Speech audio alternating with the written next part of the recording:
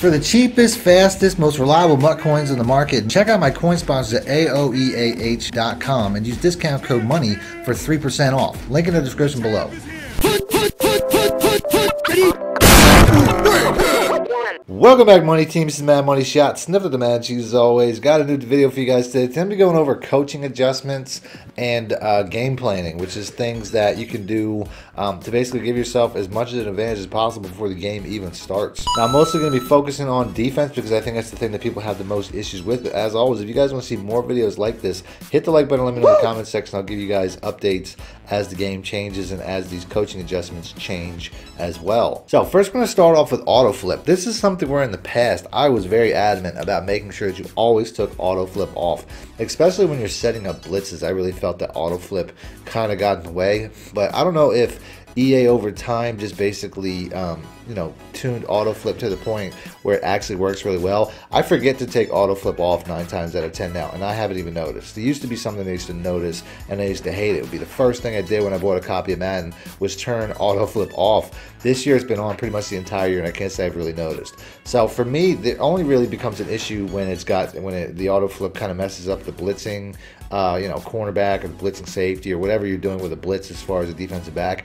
Like I said, I feel like they tuned that well enough that you can just leave it on now and it doesn't really matter. But if you're running the same defense over and over, you might want to have auto flip off uh, so that you can set up how you want. Like I said, I haven't really noticed it being an issue this entire year, uh, and I might have not even noticed it as an issue last year. So that's something you can really leave on. Now, this next one here, uh, when it comes to auto alignment, uh, I think this one here is probably best to put on base. Now, when you have it on default, basically it'll give away your defense. There's small little tells when it comes to uh, you know what you're coming out in, like a cover three, cover two, man coverages. All that stuff can give you tells. Base can be one of the better ways to hide that, but it really works best if you're running a lot of zone coverages. If you're running man coverages, I find that base is going to have your cornerbacks and your safeties and stuff like that out of alignment. If you go to auto alignment man, this here can really help if you're running a lot of man coverages. This will have them aligned up well. But it can also give you slight issues when it comes to run defense. I'll show you guys what I'm talking about. When it comes to base alignment here, I could change to just about any defense and it's going to look the exact same. Where if the uh, the auto alignment was on, you would notice some dramatic shifts. Now there we got a slight shift when it came to man coverage, but ultimately this shell will look the same no matter what, which is a huge advantage based off what you're running. Like I said, if you're running a man coverage though, it can be a little bit of an issue because you don't want these guys being so far away from their targets. This here would actually be a benefit if they aligned a little bit closer to where they're going to cover. If you go with man alignment, a lot of times it can help out when it comes to pass defense. Sometimes if you don't man align, your best cornerback will be over on the right side here uh, covering a tight end or something like that in formations like this, where if you do man align, you'll see that you have your best cornerback on their best receiver. But a lot of times it could leave you open when it comes to run defense. Like here, uh, there's no cornerback outside here for run defense. So if your opponent were to hit you with like a simple stretch or a toss or something like that, there isn't as much uh, defense out here to basically stop that. So that's something you really have to think about. So when it comes to auto alignment, I would say default's probably the best if you like to mix between man and zone.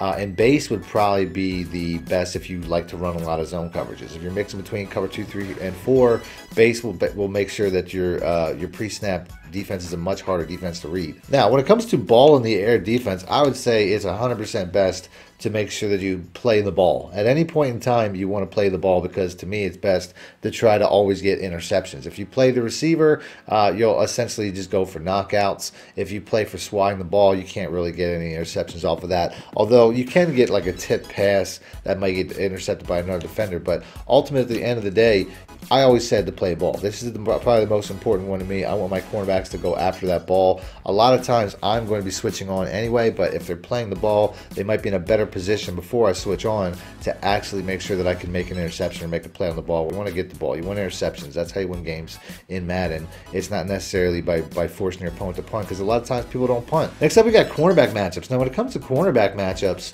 Uh, it really depends on what your receivers have. This is something that can change every single game. Uh, ultimately, by overall makes the most sense if you have a really high, you know, high overall cornerback and they've got like a Davante Adams or something like that. You're obviously going to want to try to match. If you're like a Jalen Ramsey or something like that, you're going to want to try to match your best cornerback versus their best receiver. That makes a lot of sense. But if they have somebody who's super fast, like a Tyreek Hill or uh, you know a, a Mecole Hardman, a, a Hollywood Brown, and your cornerback, it may be a superstar cornerback or not, but if you don't match speed wise, you're going to get burnt. So a lot of times you're going to want to put your fastest cornerback on those types of receivers. So it really depends on the receivers that are on the field. You really have to know the matchups before you can pick. Uh, you also have by height. If you're going against somebody like Mike Williams or something like that, you want to put your tallest guy on their tallest receiver a lot of times so they can't outjump you for balls. Uh, route running, once again, if you have a guy like Davante Adams, you want to put on somebody who has maybe your your best man coverage or your best zone coverage to try to eliminate those type of um, separations that's created by great route running receivers. Uh, and then by depth chart is obviously pretty much by default. Uh, so that's pretty much balanced. So this is something that really can change. I can't give you guys a straight answer. You kind of have to know who you're playing because this is something that could change every single game based off of who the receivers are on the other side of the field. Now, when it comes to option defense, I hear people say that it's always best to go on conservative, and I I tend to agree because ultimately, when it comes to uh, run defense, if you're in a man coverage, especially, uh, a lot of times there's nobody assigned to the quarterback because that's how man defenses run. There's no man coverage defender assigned to the quarterback. So if you're running man coverages, it really makes uh, you know option run plays with the quarterback very easy. So it always makes sense to go conservative as far as I'm concerned. I tend to agree.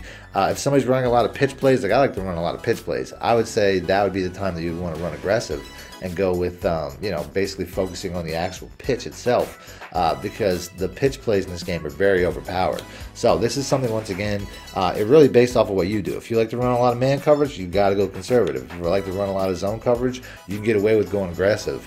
Uh, but ultimately, conservative is probably the better of the two. Now, when it comes to strip ball, this is something where I pretty much just leave it on balance most of the game. But if you have to try to force a fumble, aggressive is going to give you the best opportunity to do that. I still feel like you end up with a lot of face mask penalties. I think this is something that they have to really tune down. Tackling is pretty similar, but ultimately here, if you're trying to force fumbles, uh, this is the one that has the lesser of the two penalties because you won't get an actual face mask penalty. You'll get, um, you know, they'll, they'll fake you out more or they'll break your tackles more.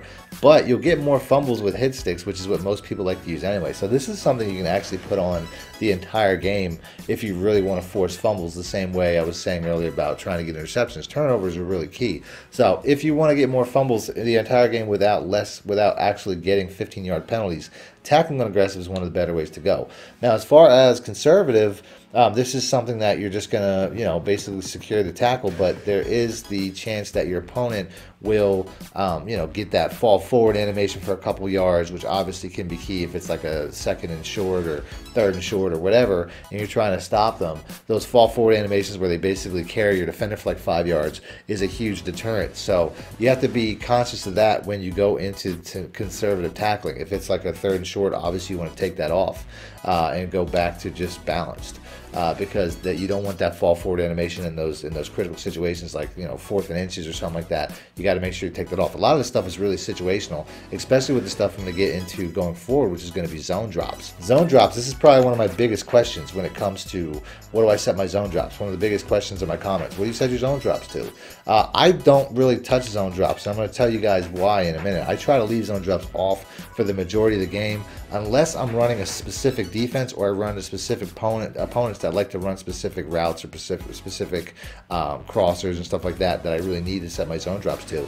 Typically, I leave my zone drops alone because there's a huge downside to setting your zone drops. If you set your zone drops to 30, say, uh, you can't change that in in the play. So I'm gonna go. I'm gonna show you guys what I'm talking about. I'm gonna go ahead. I'm gonna put uh, cover three sky on here, and then on the offensive side, we're just gonna pick, uh, you know, whatever. Pick pick the mesh spot. So this year, got my zone drops set to uh, to to 30. So if I want to out of nowhere, if I say, you know what, I'm gonna, I've seen this formation before. I'm gonna hard flat. You're gonna see how these zone drops still drop back to 30 without me having any option after the play starts. Now, boom, he's hitting it with an easy drag based off the fact that I might have recognized that it doesn't really matter based off the fact that my zone drops are already set. Now, there is one thing you can do if you see uh, pre-snap, you want to make that adjustment, you want to change your coverage to hard flats. You can reset your zone drops mid uh, play once you get into the pre-snap here by hitting wired triangle, then hitting LB or L1 whether you're an Xbox or PlayStation, and that will reset the zone drops. Uh, so basically, if you do see something, you want to make a quick adjustment. That is one extra step, which a lot of times a lot of people don't have time to do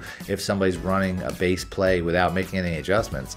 You can always play sticks and reset your zone drops pre-snap, and now you'll see those hard flats will react like I expect them to at a much uh, lower depth. So that's something that is definitely helpful and definitely a, a tip to remember. So I pretty much like to leave uh, my flats and my hooks alone for the most part. Although the hooks I can tap, I mean, this is something once again, it's going to change throughout the game. I'm going to alter this throughout the game. But if I'm running like a Mable concept out of cover three, which is something that, you know, the meta 335 wide that a lot of people like to do, uh, then I'll set my zone drops to either zero or five and my curl flats to 25 or 30. Uh, if I notice my opponent's running a lot of plays to a certain depth of the field, I will try to set my curl flats to that as well.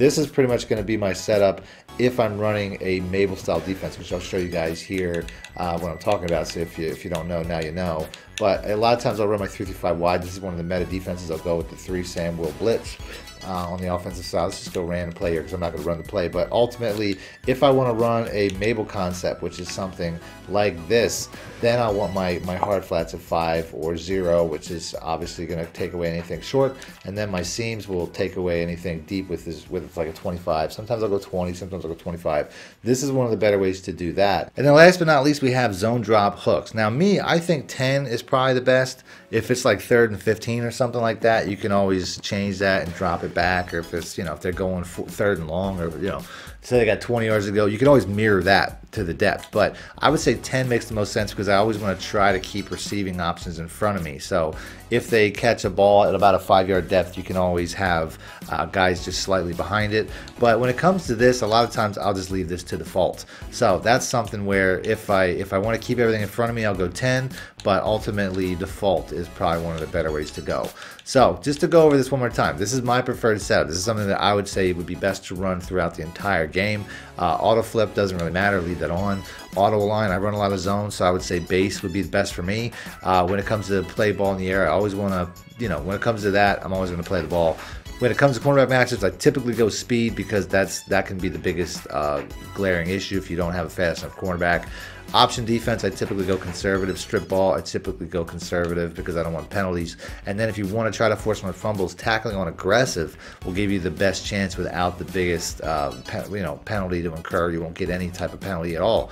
Then comes to uh, flats, I'll go five, curl flats 25, and hook I'll go uh, default. Now on the offensive side, I won't really touch a lot of these. That's why I say this for last. This is a lot of stuff I don't touch. I don't typically touch either one of the catching ones because these are all functions that you can do during the play, whether you want to go aggressive or conservative. Um, I can do all these things during the play. I can RAC catch or I can aggressive catch uh, with the controller function, so there's no real sense there. When it comes to blocking though, if you're if you like to run the ball a lot, uh, you can really uh, kick it up a notch with aggressive. Now you'll get some penalties from time to time, but you'll do you'll get better blocking when it comes to running and passing.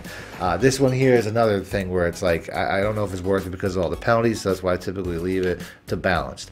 Ball carrier though, this is probably one of the few where I'll actually uh, use from time to time where I'll either go conservative or aggressive. If it's late in the game, you want to protect the ball, you want to go conservative, you won't fumble as much. Uh, and if it's, uh, you know, if you're just trying to make big plays, you can put it on aggressive, although you'll increase your chance of fumbling, uh, which once again isn't necessarily worth it because I don't want to give the ball up. So aggressive might help you get better, uh, you know, bigger plays and break more tackles. But to me, I'm going to leave most of this on balanced uh, because it just doesn't make a ton of sense. Conservative ball carry makes the most sense though to protect the ball, but you can see it disables uh, you know pretty much everything except for cover ball mechanics. So is it really worth it? Not 100% sure. Ultimately, balance is probably the best way to go on offense. So that's it. That's the video. If you guys want to see more videos like this, as always, hit the like button. Let me know in the comment section, and I'll put more out from time to time. Other than that, thanks for watching Madden Moneyshot Out. Need more help or just want to show your support? Then head over to my Patreon and join my team, where you can get exclusive content like ebooks and bonus plays, as well as early access to my vids and more. Link in the description below.